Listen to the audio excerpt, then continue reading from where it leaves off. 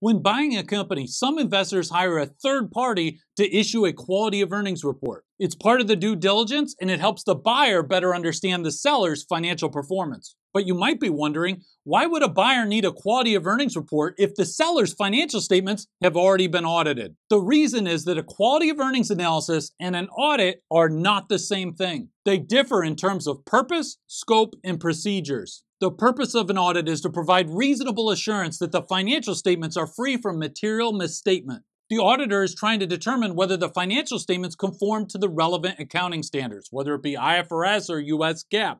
The purpose of a quality of earnings analysis, on the other hand, is to adjust the seller's EBITDA so it accurately reflects the financial performance of the seller. For example, it's possible that 90% of the seller's EBITDA was attributable to a one time gain that's not going to recur. If you're the buyer, you'd want to know this because it affects the price that you're willing to pay for that company. But an auditor isn't going to raise any issues about this, provided that the company's financial statements conform to the relevant accounting standards. Thus, an audit is about making sure that a company's financial statements conform to the relevant accounting rules, whereas a quality of earnings analysis is about making sure that the buyer doesn't overpay for the company and end up with buyer's remorse. In terms of scope, an audit usually covers the two most recent fiscal years. A quality of earnings report, on the other hand, will probably cover the last fiscal year or two, but it will also cover the interim period, anything that's occurred since the last fiscal year. Thus, if you commission a quality of earnings report on July 1st, 2021 for a company that operates on a calendar year basis,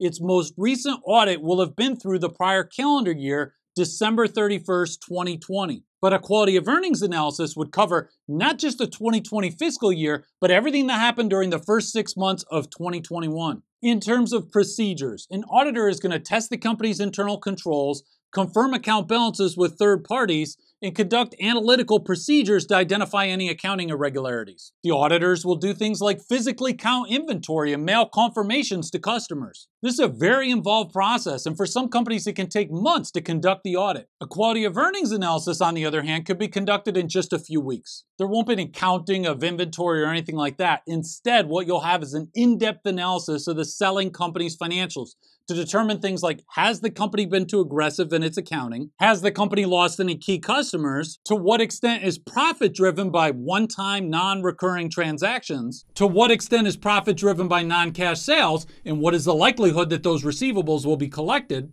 And ultimately, what is the seller's adjusted EBITDA? And how does that compare to the EBITDA that had been reported by the seller? Thus, you should view a quality of earnings report as a complement to an audit. They both have value, but they're conducted for different reasons and they yield different results.